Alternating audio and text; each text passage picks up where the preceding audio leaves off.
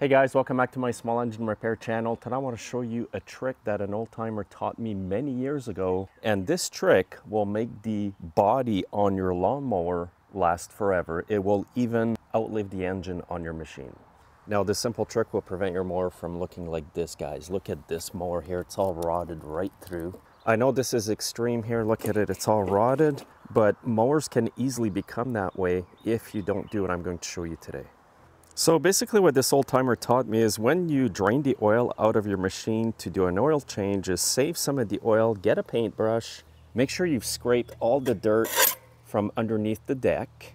And it might be preferable if you only add the oil after you do what I'm going to show you today, just so that it doesn't get into your engine and hydrolock it. And before doing this, just disconnect the spark plug for safety purposes. So basically make sure that's all cleaned up and you want your deck to be dry as well.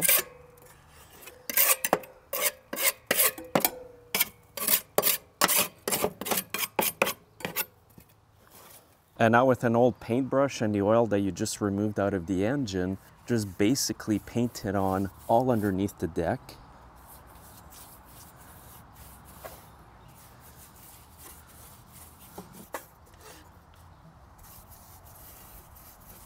And the soil is really going to soak into the metal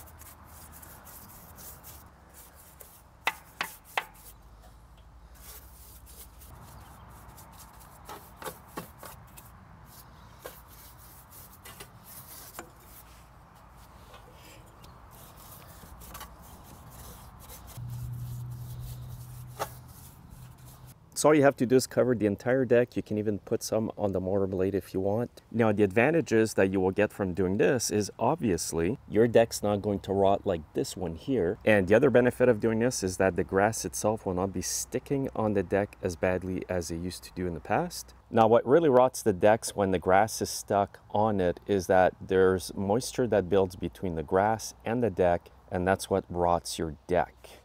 So by doing this, you're actually getting two benefits. You're not rotting the deck and the grass isn't sticking on it as much as it used to.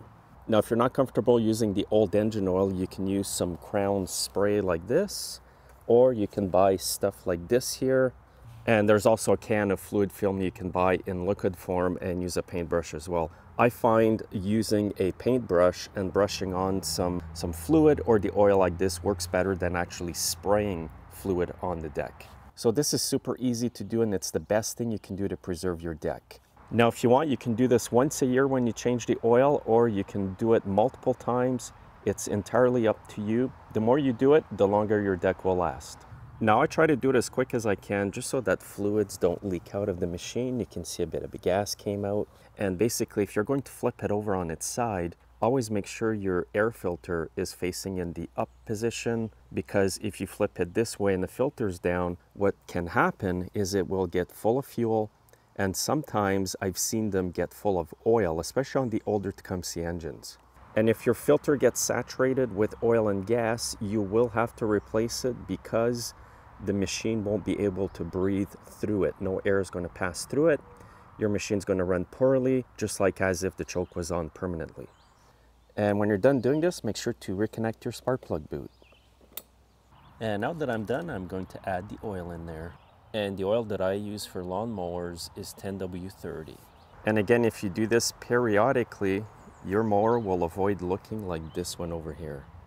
So if you like this lawnmower tip, guys, please like the video and share it, and make sure you're subscribed. Have a great day.